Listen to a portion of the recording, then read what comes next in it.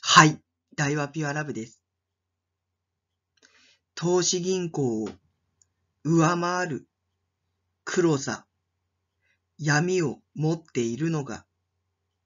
マッキンゼになります。投資銀行の SG ウォーバーグやチェイスマンハッタン、JP モルガンにいたじっちゃまが以前からマッキンゼーは大嫌いだ。真っ黒だということを散々語っていました。じっちゃまはチェイスマンハッタン、JP モルガンでエンロンを担当していたそうです。エンロンは天然ガスや石油のパイプラインの会社でした。インターネットの黎明期にエンロンはインターネットの帯域取引に乗り出します。その時にエンロンのインターネット取引部門として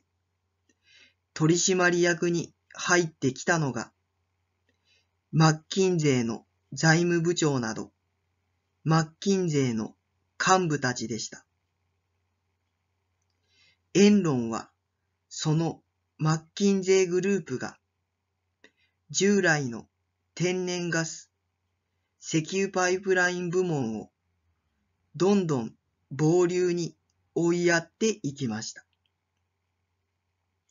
そしてエンロンの主導権を握った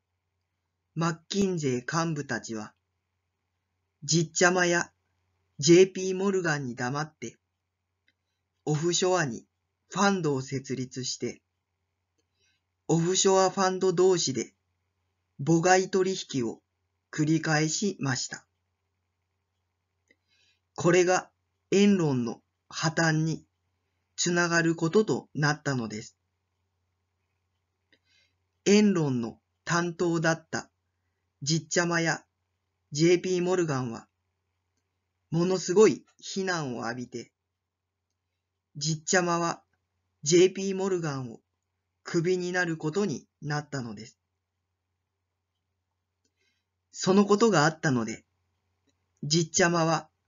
マッキンゼーの黒さ、闇を嫌というほど思い知らされたので、今でもよくマッキンゼーがいかに黒いかを語るのです。ご視聴いただき、ありがとうございました。チャンネル登録や高評価、コメントなどよろしくお願いいたします。ありがとうございます。